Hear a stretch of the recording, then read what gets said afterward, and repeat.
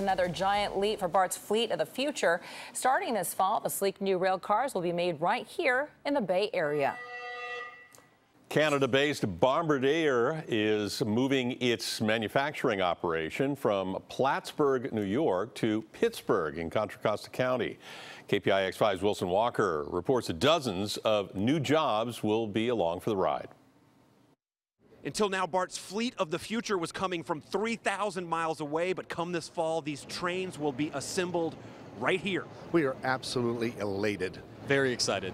Very excited to welcome Bombardier uh, to make uh, our BART trains uh, here locally in the city of Pittsburg.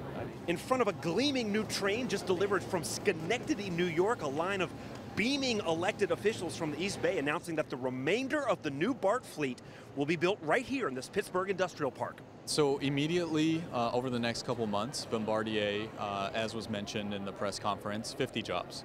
What I'm looking forward to is working with the president of, of the of the company and see how we can partner with them to expand that. And that's the real excitement here, that the BART job is just a foothold for Bombardier with hopefully more contracts to come. Uh, we've been just starving for jobs in East Contra Costa County. Everybody's commuting out, and this is a great start. Well, these folks are used to getting in a car and commuting two hours one way for a livable wage job. They now get to commute across town. New jobs right at home, kind of the holy grail for this part of the Bay Area. Add to that the almost poetic twist that those workers will build the region's public transit system. This was a good day for Pittsburg and beyond. This is a game changer for East Bay, uh, specifically for East Contra Costa County.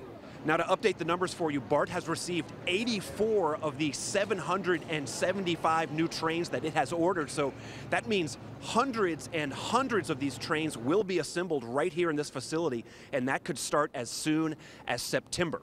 In Pittsburg, Wilson Walker, KPIX 5.